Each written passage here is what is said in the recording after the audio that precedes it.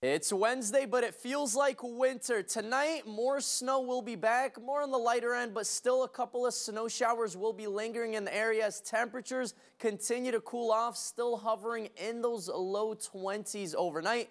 Tomorrow, not much of an improvement. High temperatures will only be in those mid 20s. More snow will be back. Like I said, maybe an inch of snow or less will be possible, but pay attention to those winds. It will be a bit breezy, so that feels like temperature will be cold. And our seven day outlook does show a little bit more snow in the forecast on Friday and then on Saturday for gun hunting season begins.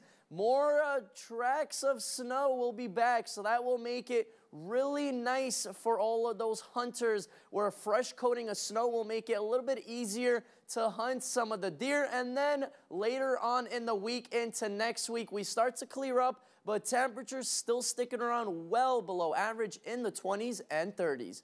Thank you for logging on.